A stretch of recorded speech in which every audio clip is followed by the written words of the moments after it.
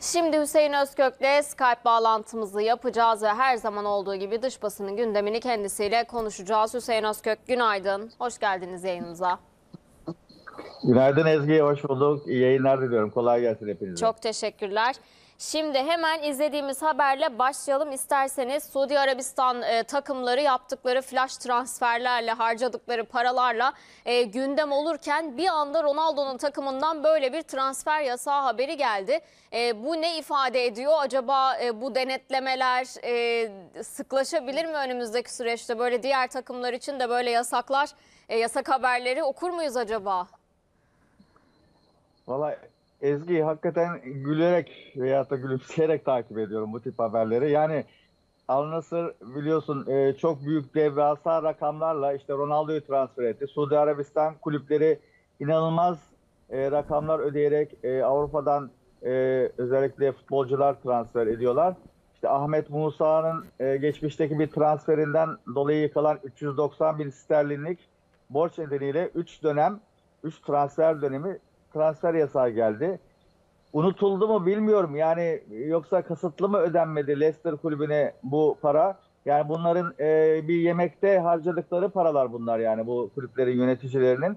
E, inanılmaz e, geliyor kulağa ama gerçek. E, FIFA bunları zaten takip ediyor. Muhtemelen Leicester kulübü e, parayı almadığına dair bir şikayette bulunduysa FIFA'da bunun üzerine e, transfer yasağı getirmiştir. Çünkü bayağı e, geçmiş yıllara dayanan bir transfer bu. E, dolayısıyla Leicester kulübüne ödememişler. Leicester da herhalde hesaplarında e, bunu gördü, fark etti ki aradan geçen onca yıl sonra El Nasır'a böyle bir transfer yasağı gelmiş. E, zaten bu tip e, transfer yasakları eğer futbolculara ödenmezse geliyor. Bizim kulüplerimizin de başına geliyor biliyorsun e, sıklıkla böyle şeyler. E, yani FIFA bunları iyi takip ediyor. Yani FIFA genelde zaten bu tip konularda futbolcuların yanında yer alıyor. Kulüplerin yanında değil. E, 40 günlük bir süresi var galiba El Nasır'ın. O 40 gün içinde bu parayı ödeyecekler. Karşı taraf yani Leicester bunun açıklamasını yapacak. Evet parayı aldık diye. Ondan sonra transfer yasağı kalkacak. Ee, yani ne diyeyim gerçekten e, rakama baktığında hakikaten güldürecek bir rakam. Şimdi bugün böyle bir gündem maddelerimize bakıyorum da Hüseyin Özkök e, hep böyle futbol ekonomisine dair haberler dikkat çekiyor. Her yerde böyle bir açıklanamayan paralar, ödenen paralar, e, kulüplere yatırılan, e, hesaplara yatırılan paralar bunlar dikkat çekiyor son günlerde. Şimdi Real Madrid'le devam edelim isterseniz. Real Madrid'in Evet. hesaplarında 122 milyon euroluk açıklanamayan bir meblağ ortaya çıktı şeklinde bir haber. Evet. Nereden e, çıkıyor e, böyle bir e, para? Şimdi sezon başlarında biliyorsun e, her ligde Financial Fair Play kurallarına uygun e, hesapların e, liglere ve UEFA'ya verilmesi gerekiyor. Çünkü bu takımlar hem kendi liglerinde oynuyorlar hem de e, UEFA'da işte Şampiyonlar Ligi'nde, Avrupa Ligi'nde hangi ligde yer alıyorlarsa e, buna göre Financial Fair Play ile ilgili hesap dökümlerini bildiriyorlar. Fakat Real Madrid'in e, birkaç sezon öncesinden 122 milyon e, açıklanamayan bir ödemesi e, gözüküyor. Bunun e, ayrıntılarını yazmamışlar hesaplara ve genel e, harcamalar diye böyle muğlak bir e, ifade kullanıp hesaplara bunu yazmışlar. Tabii ki bunun nereye ödendiğinin net olarak açıklanması gerekiyor. Bu İngiliz basınında yer aldı. San- sanıyorum Daily Mail gazetesi yayınladı bu haberi. 122 milyon euro e, ne olduğu belli olmayan bir ödeme söz konusu. Tabii ki e, bu herhalde daha çok e, irdelenecektir ve ne olduğu e, ortaya çıkacaktır. Real Madrid kulübü de bununla ilgili herhalde UEFA'ya ve La Liga'ya bir açıklama yapacaktır diye düşünüyorum ama e, Real Madrid'de işte Arda Güler'i transfer ettiği için bizim de şu anda gündemimizde olan dünyanın işte en büyük takımlarının başında gelen e, bir kulüp. E, dolayısıyla böyle bir e, olayla anılması enteresan oldu e, Real Madrid'in bir anda. Bakalım ben de merakla takip edeceğim. E, daha sonraki e, durum ortaya çıktığında da izleyicilerimiz tabii ki bunu paylaşırız. Biraz transfer konuşalım isterseniz. E, şimdi Bayern Münih'in e, transferde hareketli e, bir gündemi var aslında. Sadio Mane satışa çıkartıldı. Gündemde olan istenilen oyuncular var. E, şu anda Bayern Münih'in transfer gündemini nasıl özetleyebiliriz? Şimdi e, Bayern Münih'te iki tane önemli hedef var. Biri Napoli'den Fenerbahçe'nin eski oyuncusu Kim Min-jae ki onu sağlık kontrolünden Seul'de geçirdikleri haberleri gelmişti. Fakat resmi açıklama bugüne kadar henüz yapılmadı. Herhalde Napoli kulübüyle e, son e, görüşmeler yapılıyor ve çünkü bu oyuncunun sözleşmesi devam ediyor Napoli'de 50 milyonluk bir çıkış maddesi var ama belki de bonuslar konusunda filan Bayern Münih kulübüyle hala görüşmeler devam ediyor. E, Kim Min-jae'nin transferi kesin gözüküyor. Harry Kane Tottenham ve İngiliz milli takımının e, kaptanı, yıldız oyuncusu, golcüsü e, Bayern Münih'in en önemli hedeflerinin başında geliyor. Çünkü Lewandowski'den sonra Bayern Münih oraya e, iyi bir golcü e, monte edemedi. Dolayısıyla Harry Kane de Bayern Münih'e gitmek istediğini söylüyor. Tottenham Bayern Münih'in ilk teklifini kabul etmemişti. Şimdi ikinci bir teklif yapmış Bayern Münih. E, onu değerlendiriyorlar e, muhtemelen ama bu transferin de olma ihtimalini ben yüksek görüyorum. Çünkü Harry Kane mutlaka Bayern Münih'e gitmek istediğini söyledi. Bu arada Paris Saint Germain de Kane'e talip olmuş ama Kane Bayern Münih'i tercih edeceğini söylüyormuş. Diğer yandan Sadio Mane Liverpool'da yıllarca önemli başarılar elde ettiler. Muhammed Salah'la birlikte özellikle inanılmaz iyi bir ikiliydiler. Fakat o geçen transfer sezonunda işte artık yeni bir macera, e, yeni bir e, kulüp aradığını söyleyerek Liverpool'dan ayrılmıştı. Ve Bayern Münih'e transfer olmuştu. 32 milyon euro karşılığında. Yıllık ücreti de Bayern Münih'ten aldığı 20 milyon euro. Fakat Dünya Kupası öncesinde geçirdiği ciddi sakatlık, e, Dünya Kupası'nda yer alamaması, sakatlığının çok uzun sürmesi e, hem moralmen onu çökertti hem de Bayern Münih kadrosunda kendine yer bulamadı. Ve Thomas Tuchel da Bayern Münih teknik direktörü bu sezon planlamasında Sadio Mane'nin olmadığını ve e, satılabileceğini söylemiş yönetime. Ve Bayern Münih de dün e, Sadio Mane'nin satışa çıkarıldığını açıkladı ama herhangi bir ücretten söz etmediler. Kaç paraya satılacak bilemiyoruz ama en azından maaş yükünden kurtulmak istiyorlar. 20 milyon ciddi bir rakam çünkü. E, Sadio Mane'yi almak isteyen olursa bizdeki kulüplerden de yani boşta şu anda. Onu söyleyeyim. Bunu da söylemiş olalım. Peki e, Bundesliga demişken Almanya e, liginde, e, Almanya'da daha doğrusu e, kulüp sahipliği ile ilgili alınan yeni bir karar var.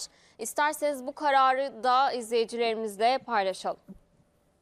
Şimdi Almanya'da kulüp sahipliği çok tartışılıyor. Taraftarlar özellikle Almanya taraftar birlikleri kulüplerin e, satılmasına kesinlikle hep karşı çıktılar yıllar boyu. Almanya'da da bir kural vardı. Bir kulübü 20 yıl boyunca boyunca destekleyen kişi veya kurum o kulübün sahibi olabiliyordu. Böyle üç kulüp var. Wolfsburg, e, e, Hoffenheim ve Bayer Leverkusen. E, bu kulüpler sahipliydi. Fakat şimdi Bundesliga yönetimi Mart ayında bir karar aldı ve sahipliğin tamamen önüne set çekerek e, e, sahiplik artık olmayacağını Almanya'da karara bağladı. Bu daha sonra rekabet kurumuna gitti. Almanya rekabet kurumuna. Rekabet kurumu da dün yaptığı açıklamada bu kararın rekabete uygun olduğunu ve e, onaylanıldığını söyledi. Dolayısıyla bundan sonra artık Almanya'da hiçbir e, kişi ve kurum e, kulüp sahibi olamayacak. E, kulüpler dernek statüsünde kalacaklar ve kulüplere ait şirketlerin sadece %49'a kadar alan bölümü satılabilecek. Zaten 50 artı 1 kuralı diye geçiyor bu kural Almanya'da. E, mesela Leipzig e, kulübü Red Bull tarafından satın alınmak üzere destekleniyordu. E, 11. yıldaydı Red Bull. Fakat şimdi geriye kalan 9 yıl artık bir şey ifade etmeyecek ve Red Bull e, Leipzig'in sahibi olamayacak. Diğer yandan işte Bayer firması, Volkswagen firması ve Dietmar Hopp, Hoffenheim'in sahibi. Onlar da e, bütün haklarından vazgeçecekler. Bu kulüpler artık üyeleri tarafından e, alınacak kararlarda e, her şey karar verilecek. Dolayısıyla Almanya'da bu iş e, tarihe karıştı Ezgi. Ben güzel, olumlu bir gelişme olarak görüyorum bunu.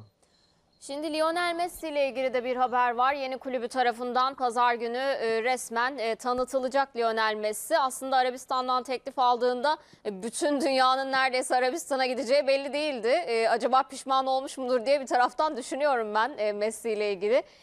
Ne dersiniz? Nasıl bir Inter Miami kariyeri olacak acaba?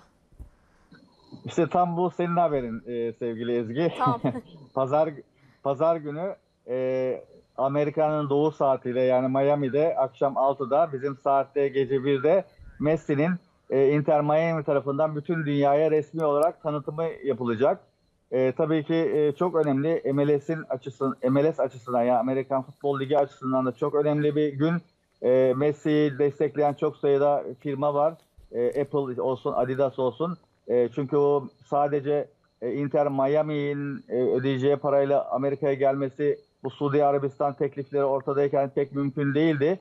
E, dolayısıyla Messi Amerika Birleşik Devletleri'nde hakikaten futbola önemli bir e, rüzgar katacak e, diye düşünüyorum. E, orada tabii ki yabancılık da çekmez Ezgi. Biliyorsun Miami e, İspanyolcanın hakim olduğu bir şehir. Evet. E, güzel de bir şehir. Hatta çok güzel bir e, ev tutmuşlar Messi'ye. E, Orada işte artık krallar gibi yaşayacakmış. Öyle söyleniyor. E, Pazar günkü o tanıtımdan sonra Messi e, ancak Ağustos ayında e, sahalara çıkabilecek. Çünkü MLS'e e, bu hafta sonunda oynanacak maçlardan sonra ara veriliyor. 5 haftalık bir ara var. Ağustos'un 21'inden sonra Messi yeni takımıyla lig maçları oynamaya başlayacak. E, ben de e, bakalım pazar gecesi e, uyumazsam saat 1'den itibaren bu tanıtımı izlemek istiyorum televizyondan. Sen bilmiyorum izleyebilecek misin ama Yok Messi hayranı olarak uyurum muhtemelen de artık e, sosyal medyada haberlerde görürüz diye düşünüyorum. mutlaka görürsün. Evet. Peki e, son olarak son bir dakikam sözü hemen size bırakayım. Başka hangi habere vurgu yapmak lazım bugün? Şimdi Kastel Semenya vakasından bahsetmek istiyorum. Pazartesi günkü Demet'le olan yayınımızda bu Zambiyalı milli futbolcu Barbara Banda'nın bu test- testosteron e, probleminden bahsetmiştim. Aslında bu olayların anası diyeceğimiz olay Kastel Semenya, Güney Afrikalı atlet. 800 metrede 2 olimpiyat, 3 dünya şampiyonluğu var. E, onun da testosteron hormonu çok yüksek. Uluslararası Atletizm Federasyonu tarafından 2018'de yasaklanmıştı. Fakat kasa başvurusu İsviçre Federal Mahkemesi'ne başvurusu kabul edilmemişti. O da İsviçre'yi mahkemeye vermişti. Avrupa İnsan Hakları Mahkemesi'ne şikayet etmişti. Avrupa İnsan Hakları Mahkemesi e, Kastel Semenya'yı haklı buldu ve gerekli şekilde e, İsviçre tarafından desteklenmediği ve savunma haklarının e, gerekli şekilde kullandırılmadığı e, karara bağladı. Tabii bu Atletizm Federasyonu'nu bağlamıyor ama e, onun adına önemli bir gelişme bu. Olimpiyatlara da katılmak istiyor ama e, Uluslararası Atletizm Federasyonu'nun bir testosteron e, sınırı var. O Evet. sınırı düşürmek için ilaç almayı da reddediyor. Bakalım nereye varacak bu işin sonu. Aynı şekilde Barbara Banda'nın da bu konuda problemleri var. Peki Hüseyin Özkök çok teşekkürler verdiğiniz bilgiler ve yorumlarınız için. Güzel bir hafta sonu diliyorum size. Ben de aynı şekilde görüşmek üzere. Selamlar. Görüşmek üzere.